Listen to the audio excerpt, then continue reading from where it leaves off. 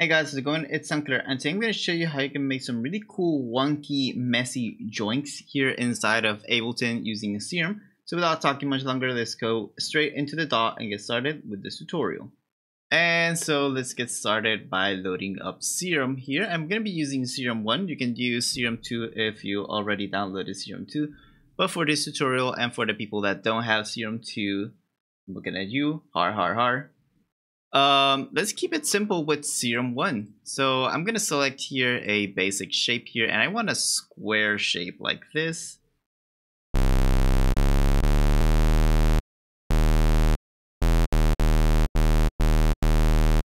That sounds perfect, and I'm going to add a 7th here.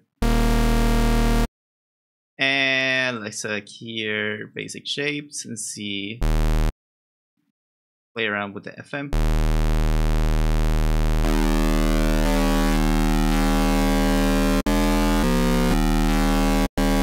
So what I'm gonna do is I'm gonna turn the random all the way down.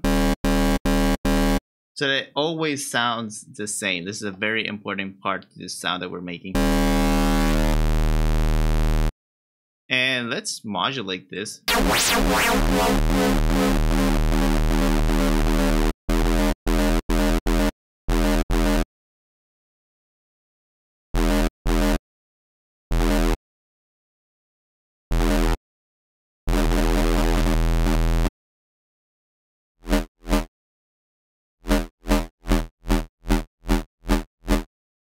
I want to make it this, I want this LFO curve because I want it very wonky. Let's add some unison here. And make it very loud.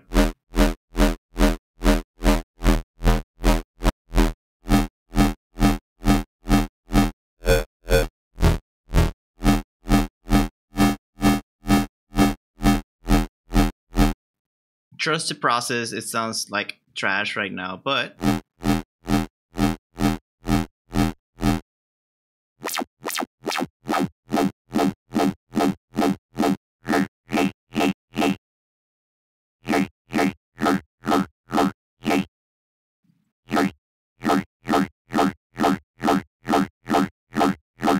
That's the vowel sound that I want here for this bass. Let's add a sub.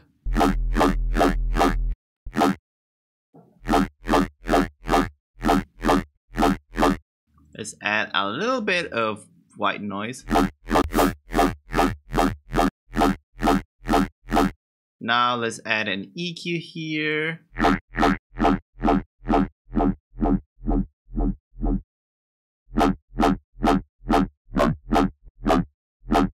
Add the multiband compressor.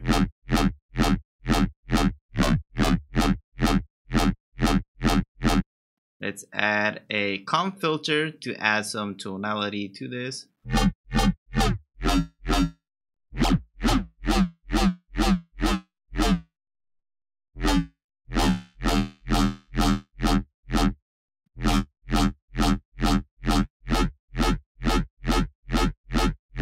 That tonal sounds good. Yeah, I really like how that sounds there. And this is going to be the secret sauce here. Let's add a crazy amount of hyper dimension here.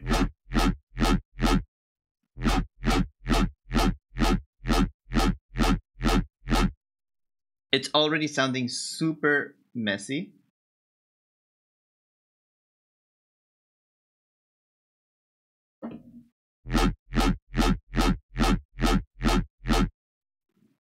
Uh, let's add some distortion.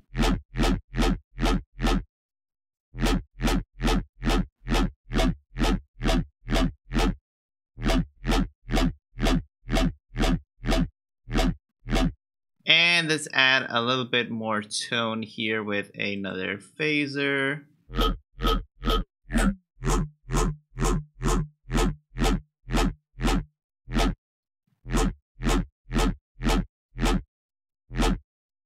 Yeah, that sounds good. And then after we can, like, for example, if we wanted to do variations of the sound, right, we can just sort of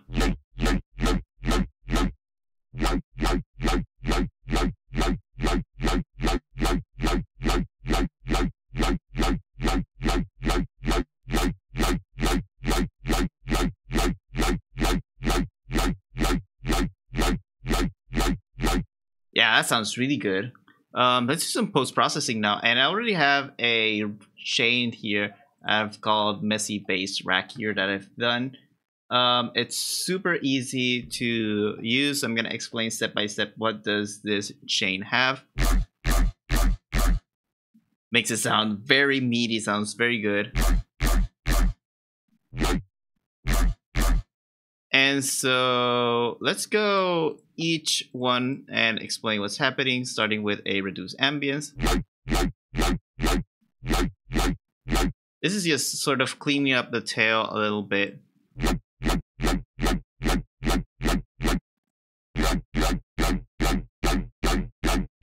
It sort of like cleans up the tail a little bit so it sounds a little bit sharper, a little bit more aggressive.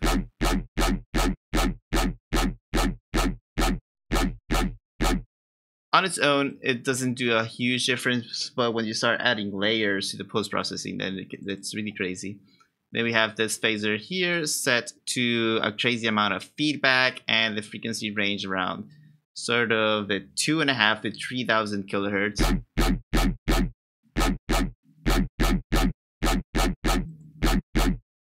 If you guys notice, this is adding a whole bunch of more stereo information.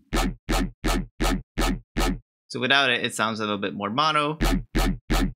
With it, it sounds more stereo. So this is just adding a little bit of stereo.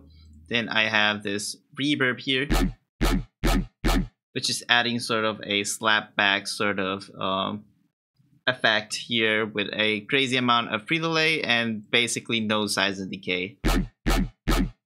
And a little amount of dry wet here.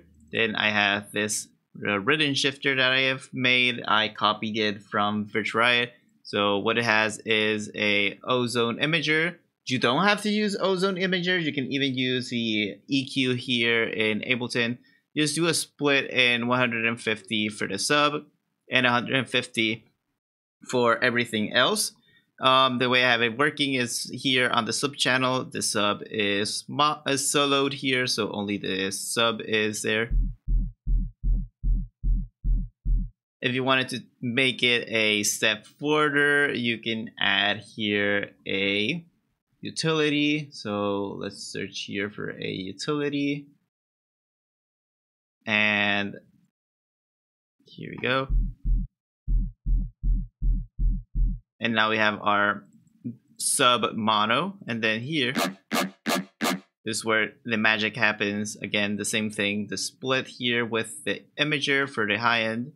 And I have a frequency shifter that I control here with the macro uh, it goes from left to right, as you guys can see here. And I have it right now at negative 80 um, hertz. Sounds cool to me.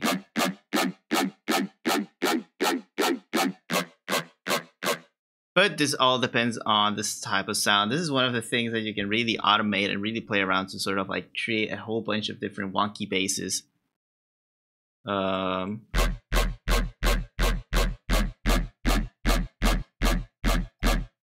Um, then I added an EQ because since I'm lowering the pitch of the um, bass here with the frequency shifter, I wanted to make sure that I had that cut out. Then I have this EQ Eight to sort of like clean up the mud a little bit from the bass. This is more like just some mixing, just some average mixing. And then I have this fat rack. This is a VR fat rack um, that you can get from his Patreon. Um, I'm using this one because it's the cleanest one of the fat racks that I have right now. Um, so if you're subscribed to the Virtual Patreon, you can download that um, from his Patreon. That's going to be linked down in the description.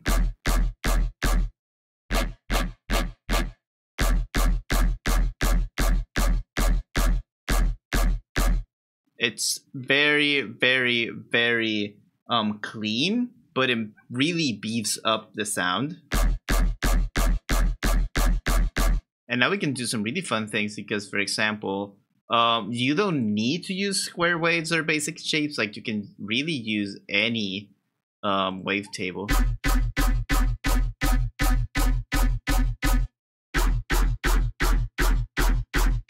Because this sound design um, technique is so versatile. You can start slapping around, changing wavetables. You can adjust um, LFO curves like this.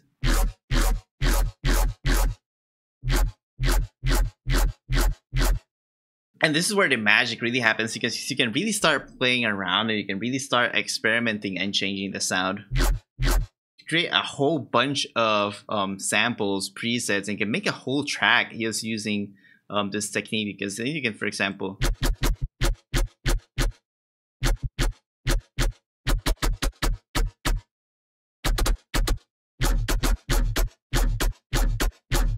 you can re really get wonky with this.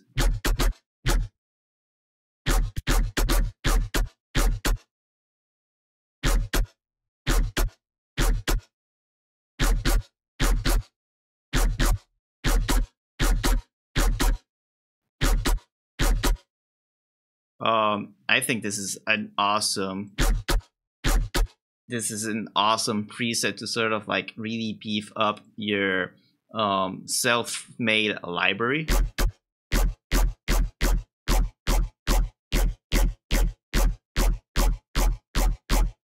Um, one important thing that really makes this sound is this um, high peak filter. So I wouldn't suggest changing it. Let's see what happens when you change it it doesn't sound the same. Because that second peak is really doing a lot of work. You can even like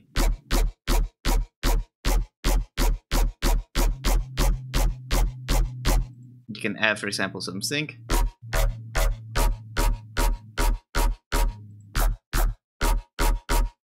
It's really an unlimited amount of basses you can make from here um, with such a simple post-processing rack, even without the post-processing, it sounds super good. And if you have Serum 2, you can really get crazy with the effects because you have unlimited effects in Serum 2 compared to Serum. I'm handicapped right now by using Serum, but you don't have to um, use Serum. You can use Serum 2 instead.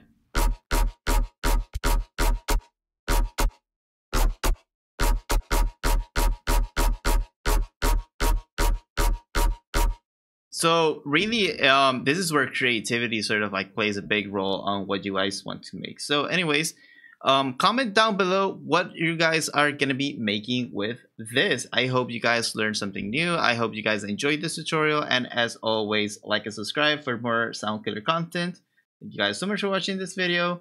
Link for the Virtual Riot Patreon is going to be in the description. Thank you guys so much for watching, and I'll see you in the next one.